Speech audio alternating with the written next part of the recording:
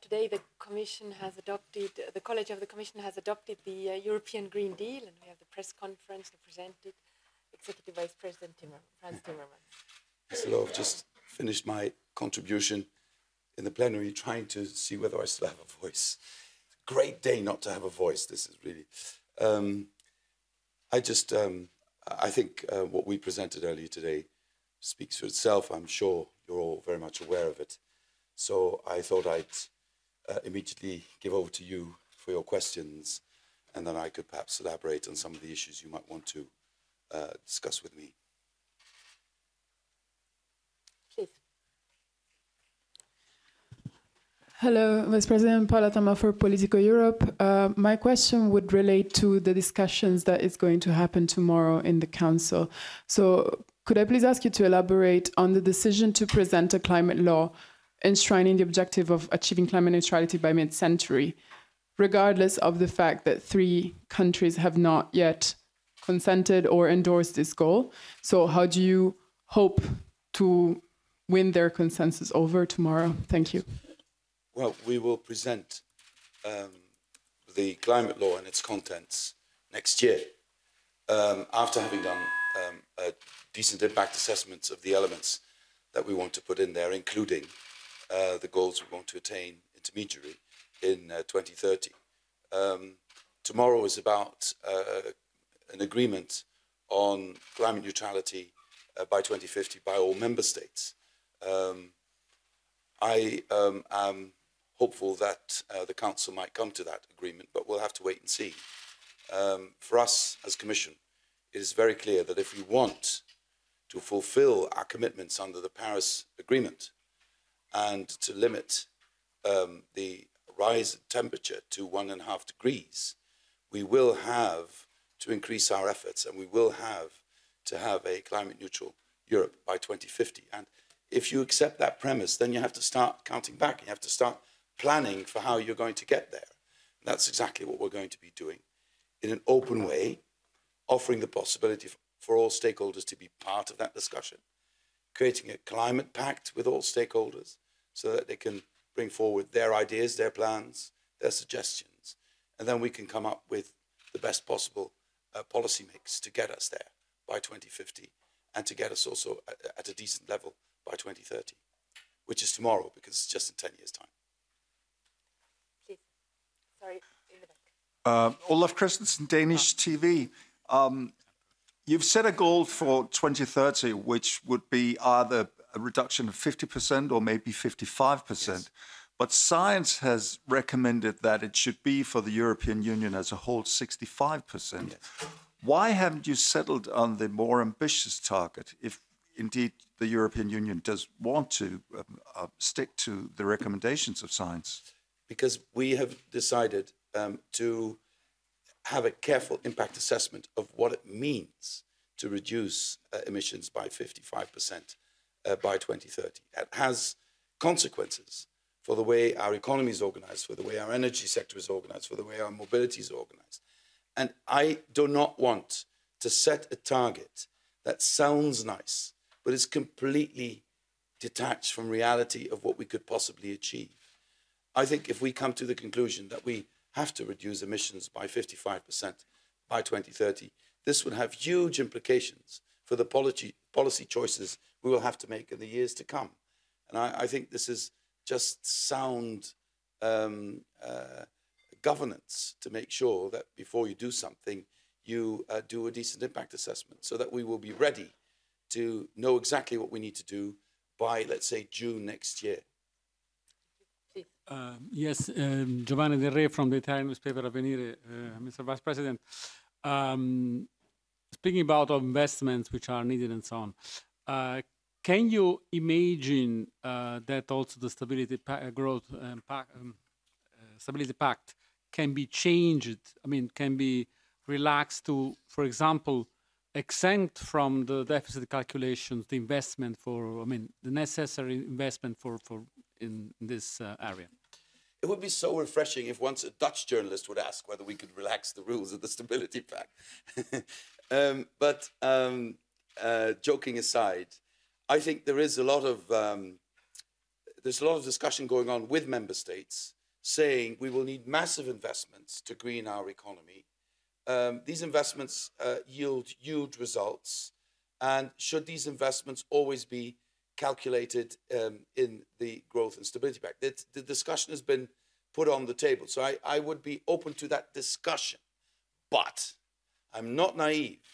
I'm not naive. I know that if you open that discussion, very often it's used as a pretext not to observe the uh, Growth and Stability Pact at all, and that would not be wise. But it is for a reason that we also announced that we will have a, a close look at uh, state aid rules, that we will have a close look at, at other rules that were devised in a different situation, and that we would need to adapt for both uh, the climate change uh, challenge and uh, the transformation uh, as a consequence of the fourth industrial revolution.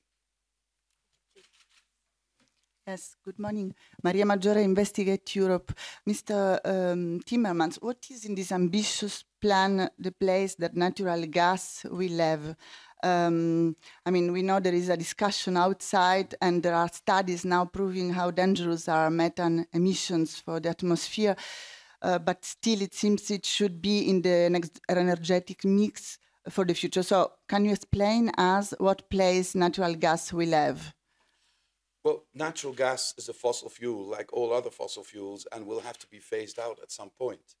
But I also know that natural gas is the fossil fuel uh, which phasing out will take probably longer than other fossil fuels and will play a role in the transition as well. This is also, I believe, a reality. But the goal should be for Europe to rid itself of fossil fuels. Uh, and I believe that um, uh, the infrastructure, for instance, we have for LNG and natural gas in the future could be very useful, for instance, for a hydrogen-based economy and hydrogen-based uh, energy carriers. So um, um, again, uh, I do not see a sustainable future in any form of fossil fuels, but I also understand that natural gas in the transition to a carbon-free uh, uh, energy mix will play its role. Bonjour, Monsieur Timmermans. C'est Masmoup, je représente la presse africaine. Euh, vous Tout avez seul, vous? Toute la, presse, africaine, oui. Une partie de la presse africaine, enfin différents médias de la presse euh, d'Afrique, notamment le combat et le point. Euh, vous avez présenté comme une grande ambition de l'Europe ce pacte vert. Mais on peut imaginer que les ambitions de l'Europe peuvent aussi entraîner les intérêts et les préoccupations de l'Afrique. D'autant plus qu'on vous suit de très près depuis que vous êtes euh, entré en fonction. Alors, euh, est-ce qu'on peut imaginer que ce pacte vert soit inscrit dans l'agenda de la coopération, de la nouvelle coopération qui semble se dessiner entre l'Europe et l'Afrique? Parce que les questions climatiques sont d'une importance capitale, on en parle très peu. L'Afrique ne se résume pas simplement aux questions migratoires, il y a les effets climatiques euh, qui impactent beaucoup les populations les plus défavorisées. L'érosion des zones côtières entraîne des déplacements au niveau de l'intérieur comme au niveau de l'extérieur. Et il y a une nouvelle conscience écologique qui se met en place depuis un certain temps en Afrique. Donc euh, voilà, euh, vous avez parlé d'études d'impact. Est-ce que cette étude d'impact prend en compte aussi les intérêts de vos partenaires africains, puisque vous avez l'ambition de leur tendre la main dans le cadre d'un nouveau partenariat. Voilà. Je peux vous donner une réponse très très précise et concrète. Euh, la présidente von der Leyen a déjà été en Afrique, elle a déjà parlé avec euh, euh, le président de l'Union afri- africaine, et elle est revenue avec la conclusion que pour la prochaine réunion de la Commission européenne avec la Commission de l'Union africaine, on aura un débat sur le Green Deal. Donc c'est déjà conclu. Il y a un grand intérêt du côté africain euh, de faire partie de, cette discussion et de voir si on peut faire des projets ensemble. Moi, personnellement, je crois que dans le domaine de l'énergie, il y a vraiment une opportunité incroyable euh, pour une coopération entre l'Europe et l'Afrique. Euh, on voit déjà dans certains pays africains que des gens, des citoyens qui n'ont pas encore eu accès à une forme d'énergie du tout, obtiennent accès directement à une électricité qui a été créée par, des, euh, par le photovoltaïque. Immédiatement. Donc, on, fait vraiment un bond vers l'avant. Et c'est ça, je crois, euh, plus fondamentalement, une opportunité incroyable euh, pour l'Afrique de ne pas devoir aller à travers tout euh, ce développement de la troisième révolution industrielle et de, de- d'aller tout de suite dans la quatrième, avec toutes les opportunités qu'on a, surtout étant donné euh, euh, la composition démographique des pays africains, avec toute cette jeunesse très très douée et de plus en plus mieux éduquée, qui nous donnera la possibilité, possibilité de créer des opportunités économiques énormes et aussi une possibilité de créer un lien entre les deux continents parce que, bon, si l'Afrique et l'Europe euh, ne, se, ne, ne se prennent pas en compte, qui le fera? Les autres ne le feront pas. Ça dépendra de nous. Estonian Public Broadcasting Eppehand. Uh, to explain a bit how it- how what's your idea how it will work? Uh, how many regions uh, do you imagine could be suitable for this program? And uh, the jobs will be created by companies and entrepreneurs. How how would you make it attractive to them?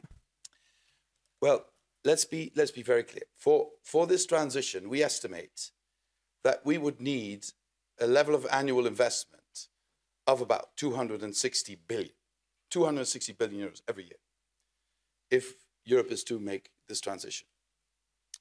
So the just transition mechanism is not the mechanism that's going to make that happen. The just transition mechanism is the mechanism you use when the transition in some areas of Europe, for some reason, is not just. Because the area lags behind, because it has special challenges, because, for instance, the energy mix is still way back in the coal uh, economy.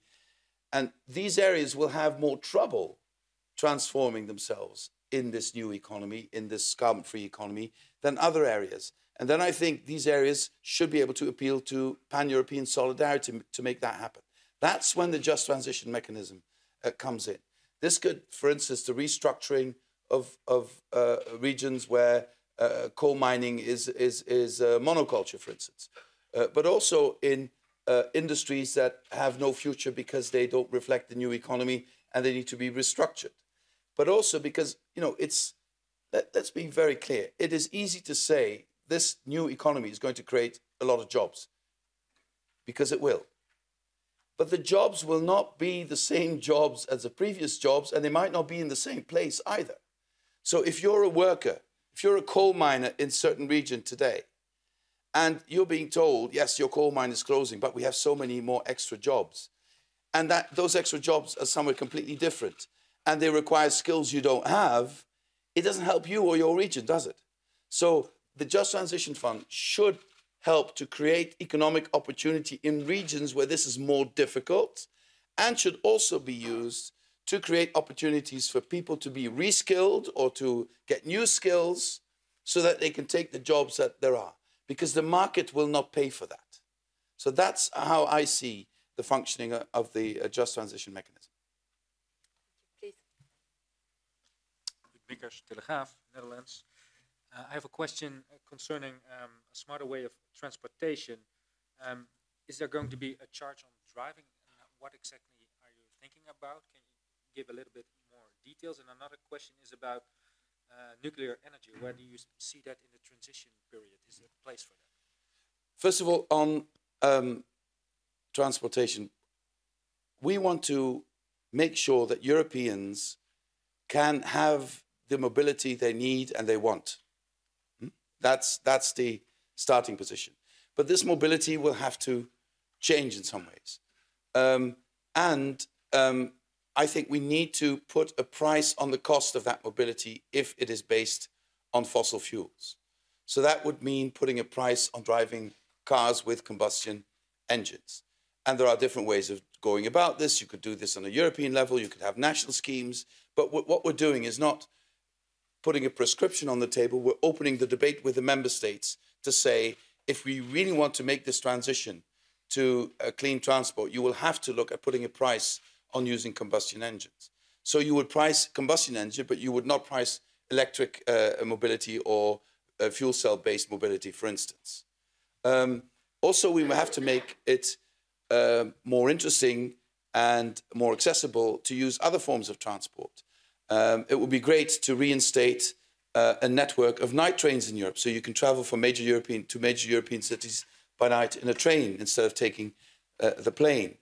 Um, and I, I still find it very strange that when you fill up your car with petrol, uh, you pay tax on that petrol, and quite a lot of tax on that petrol, uh, by the way.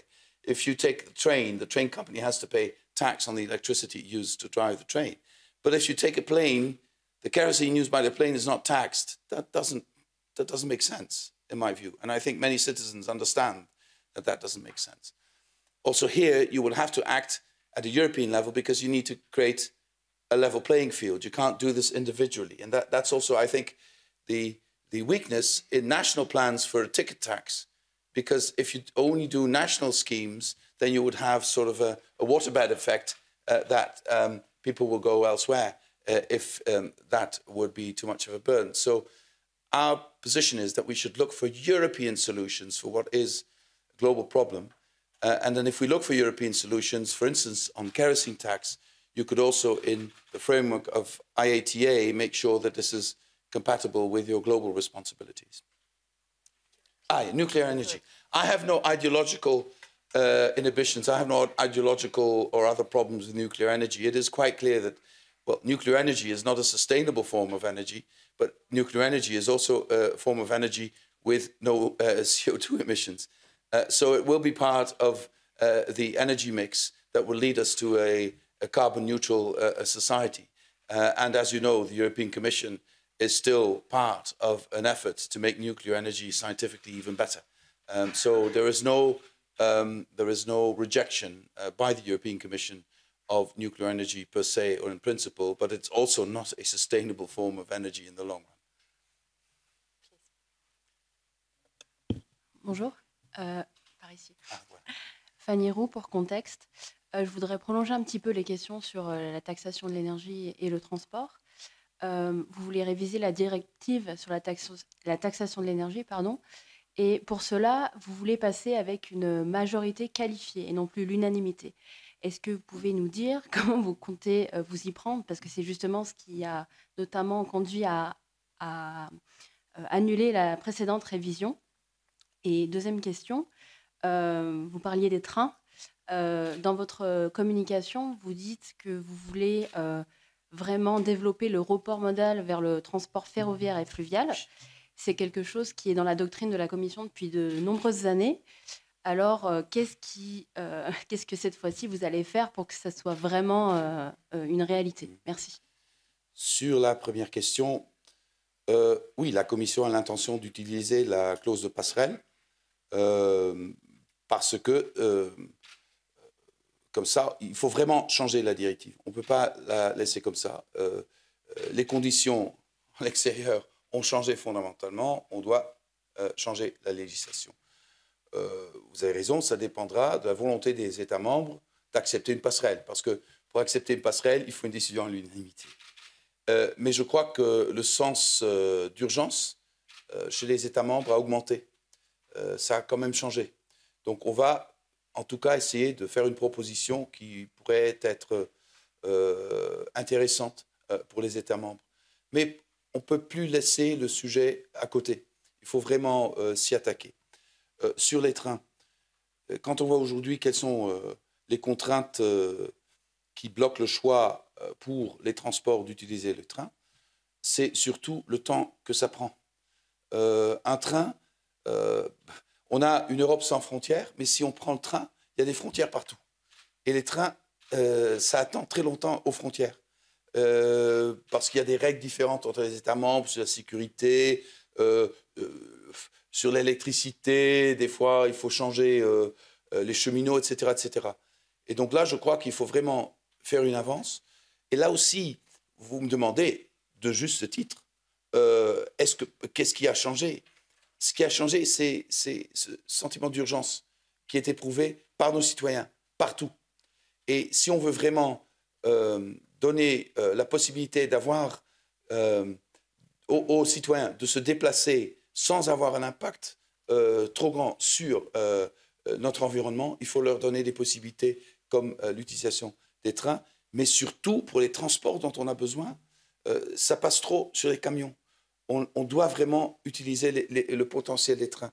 Et je connais des exemples où ça marche très bien. Il faut quand même étudier, par exemple, l'exemple suisse. Ils ont augmenté énormément le pourcentage de transport sur les trains. Et je suis très intéressé à voir pourquoi, comment, quelles sont les, mesures qu'ils ont prises, etc. etc. Donc vraiment, c'est un enjeu important euh, pour l'économie européenne.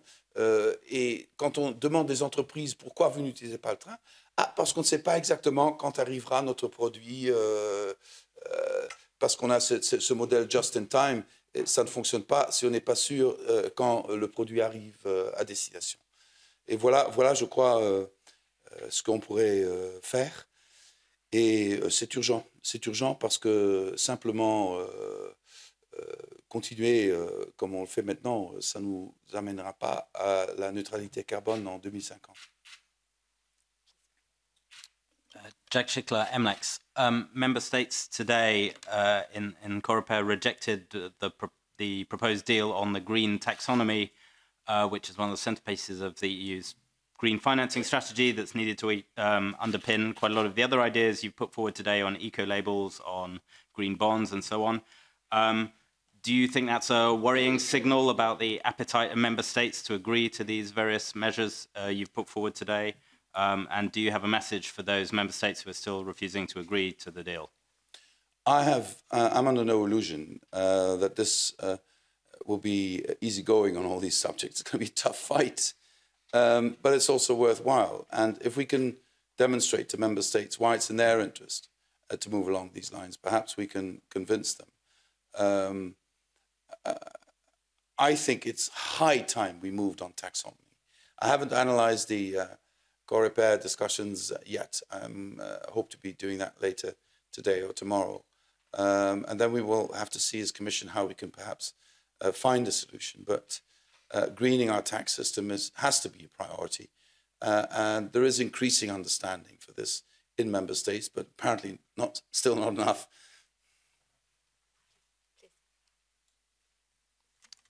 question in Dutch, if I may. I think there is translation.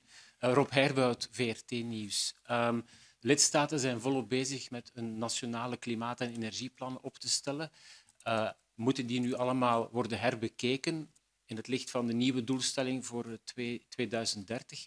En ik weet niet of u op de hoogte bent van de, de Vlaamse klimaatambities voor 2030. Vlaanderen mikt op een reductie met 32,5 procent. Vindt u dat ambitieus genoeg of moet de lat hoger? Het is voor mij natuurlijk heel moeilijk om de specifieke Vlaamse plannen uh, te, te beoordelen. Ik kwam uh, minister De Mier gisteren uh, tegen in Madrid, waar zij mij heel trots vertelde van de doelstelling. Uh, en toen zei ik haar, ja, wij gaan voorstellen tussen 50, min 50 en min 55 procent volgend jaar. En ze keek me aan en zei, ah. Um, dus ik weet niet uh, hoe dat, uh, hoe we dat moeten zien. Maar kijk, alle lidstaten hebben um, onderschreven de doelstelling in Parijs. En hebben onderschreven dat ze nationale plannen zullen maken die het mogelijk maken om de Parijse doelstellingen ook waar te maken. Uh, en dat geldt ook voor België, dat geldt ook voor Vlaanderen. Um, dus ja, dat is toch de benchmark die we hanteren. Um, en zo heb ik dat ook uh, gisteren proberen uit te leggen. Oui, bonjour. bonjour. Euh, Pascal Zenz euh, d'Agence Europe. Euh, une petite question de clarification. Le, le, mécanisme de transition juste sera donc pour toutes les régions, tandis que le fonds de transi transition juste sera plutôt ciblé sur les, les, régions charbonnières, si je comprends bien. Ouais. D'accord. Est-ce que... euh, Non, non, non, seulement charbonnières. Pardon, j'étais déjà deux pas en avant. Le mécanisme peut s'appliquer à toute l'Union européenne. Euh, le fonds sera pour des régions où il y a des spécificités euh, de transition particulières. Ça peut être des régions de charbon, ça peut être des régions avec une industrie en difficulté, ça peut être des régions avec des questions sociales très spécifiques d'emploi, etc., etc. Ce n'est pas uniquement le charbon, hein, mais, mais, vraiment pour des régions en difficulté. Pardon. Pardon. Dans ce cadre, est-ce que pour la Commission européenne, ce fonds de transition juste est une solution pour peut-être euh, faciliter les négociations sur la négo-box Puisque comme ça, on pourrait maintenir peut-être les réductions sur l'enveloppe de la politique de cohésion tout en attribuant peut-être plus d'aide financière aux régions euh, euh, charbonnières ou dans le besoin qui se trouvent principalement peut-être dans les pays d'Europe centrale et orientale. Bon, moi je dirais euh, plus généralement, non seulement sur le charbon, pour avoir un accord su- sur le budget pluriannuel, on devra convaincre ces pays qui disent euh, pas un euro de plus et les pays euh, qui disent pas un euro de moins, qu'il y a euh, un compromis quelque part. Et pour trouver ce compromis, moi je crois que réorienter une partie des finances européennes vers euh, le Green Deal pourrait aider ceux qui ont des problèmes à accepter un budget euh, légèrement plus élevé de dire aussi aux constituants dans leur pays, écoutez, peut-être on paye un peu de plus, mais maintenant on a vraiment une réorientation vers des nouvelles politiques. Parce que ce que je crains, et c'est toujours la même chose, c'est- je crois, la quatrième fois que je, l'ai l'expérience, ce que je crains, c'est que le compromis serait de laisser tout comme c'est, euh, de trouver des compromis en, baissant les fonds qui, sont, qui visent euh, la nouvelle économie, qui visent euh, le climat, et de laisser tout comme c'est dans la politique agricole, dans la, politique structurelle, etc. Ça, ça serait un résultat vraiment très décevant et ça nous priverait des possibilités de vraiment investir dans euh, la nouvelle économie et d'investir euh, dans des mesures pour, euh, pour arriver à la neutralité climatique euh, 2050. Donc voilà, je vois vraiment le besoin de, de créer un dynamisme entre ces deux groupes de pays en disant, bon, c'est peut-être un peu plus que vous n'auriez voulu, mais en même temps, on réoriente nos effectifs vers le futur plutôt que vers le passé. Thank you very much. With this one, I'm afraid But- we'll but- take but the last yes. Um, two things. One, for the trains, it's also the price, but that's a natural monopoly, so good luck. the other thing, um, in your communication, you have said that the carbon border measure, uh, which raised a lot of interest, which is seen a bit as the other face of the measure, tightening targets here and protecting ourselves, will be only um, as an alternative to the existing protections for carbon leakage. So could you elaborate on how do you plan to phase this in? Would it be a from day one, no more free allowances, no more compensation for energy, and we introduce the carbon border measure for these sectors and which sectors, or phased in in some other way? Thanks. Yeah, I, I fully understand your question, but this is exactly the stuff we still need to elaborate uh, in great detail. The, the principle is this we assume that all those who have signed the Paris Agreement will take the necessary measures to get there. We will take the necessary measures. If others don't, we are under an obligation to protect our industry to prevent carbon uh, uh, leakage. And then the instruments we can use could be a border tax, it could also be uh, uh, changing ETS, amending ETS.